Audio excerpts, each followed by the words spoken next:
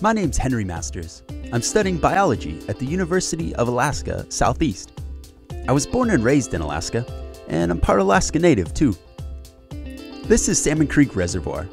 I grew up exploring places like this with my camera and fly rod. These help distill a deep curiosity for the natural world around me. I'm always amazed at the beauty and how much life there is around water. There's so much you can learn. I forgot my flies, and I learned you have to improvise sometimes. Paper clips and grass helped me figure that one out. I wanted to learn to fly fish when I was young because, let's face it, it just looks really cool. Over the years, I changed why I fly fish.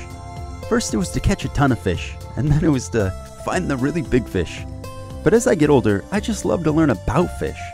If they'll take a bug over a salmon egg, I love learning about the riparian habitats and how they change with their environment.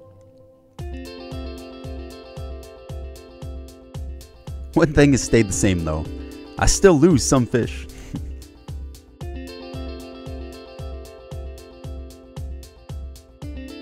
the beauty of biology is that you have to make real world observations and test them. I've been able to recruit my skills in fly fishing, photography, biology, and my knowledge of Juneau to design a research project funded with a URECA grant. Every fish I catch, I start by seeing if I've caught it before by checking behind the left eye where I inject a pink elastomer that fluoresces under UV light. I anesthetize each fish, ensuring they relax for their safety and for ease of handling. Once they're relaxed, I tag them behind the left eye with that pink elastomer.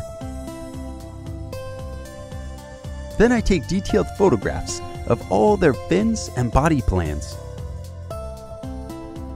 These fish were planted in the early 19th century in two different isolated populations, behind the dam and the streams below.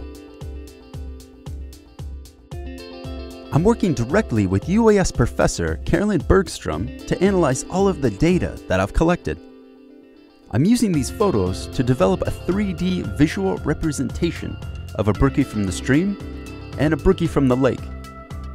Then I can compare any morphological changes that have taken place over the hundred or so years since they were planted here. My time at UAS and a URECA grant have given me the unique opportunity to conduct research as an undergraduate.